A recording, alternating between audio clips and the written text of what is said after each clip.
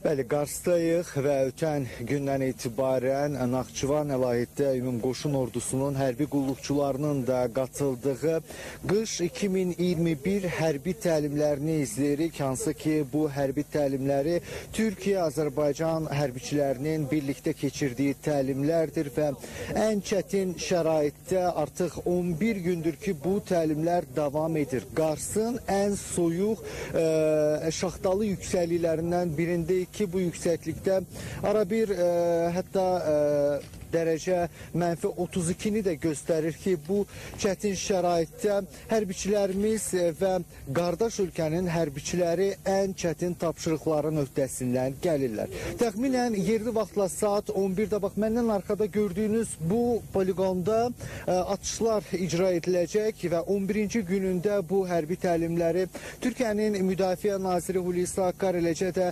Azərbaycanın yüksək hərbi rütbəli şəxsləri izləyəcəklər və təxminən 80-90 dəqiqəlik bir proqram olacaq və bu hərbi təlimlər zamanı bu meydanda nələr nümayiş etdiriləcək? Ən son və modern silahlar eləcə də Türkiyənin e, inventarına daxil olmuş hərbi e, texnikalar nümayiş etdiriləcək. F-16-lar havaya qalxacaq. F-16 qırıcılarını görə biləcəyik və onlar e, atış icra eləyəcəklər. Eləcə də atak helikopterləri və bundan başqa PUA, yəni pilotsuz uçan aparatlar da əraziləri kəşf eləyəcəklər. Eləcə də atışlar həyata keçirəcəklər və bundan başqa tankların da manevr edəcəyi gözlənilir. Hazırda ərazidə artıq ilk atış səsləri eşidilir ki, hədəflər vurulur. Artıq 11 gündür ki, bu hərbi təlimlər dediyim kimi davam edir. Ötən gün nələri izlədik? Helikopterlər havaya qalxdı, koordinatlar verildi.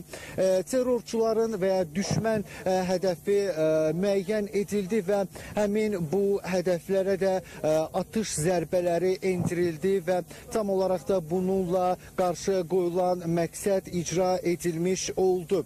E, az öncə dediyim Dediyim kimi burada hava çox soyuqdur. Hətta hərarət mənfi 32 dərəcəni göstərir ara sıra. Hazırda da ə, mənfi 5 dərəcə ə, deməli ə, şaxta var ki buna baxmayaraq e, demək olar ki Türkiyənin bütün e, kütləvi informasiya vasitələrindən e, təmsilçilər var burada. Onlar bu hərbi təlimləri işıqlandırırlar. Gecə saatlarında xüsusilə ərazi çox soyuq olur və həmin bu soyuq hava şəraitində də burada hərbi təlimlərdə iştirak edən hərbiçilər hazırlanmış xüsusi buzdan evlərdə qalırlar ki, o görüntüləri hazırda rejissorumuz təqdim eləyə bilirsə izləyə bilirsiniz siz də həmçinin ki, bu buzdan hazırlanmış evlərdə də ə, təbii ki, xüsusi şərait yaradılıb ki, hər hansısa bir problem olmasın. Amma yenə də dediyim kimi bu real bir döyüş şəraitində necə hərəkət etməlidirsə,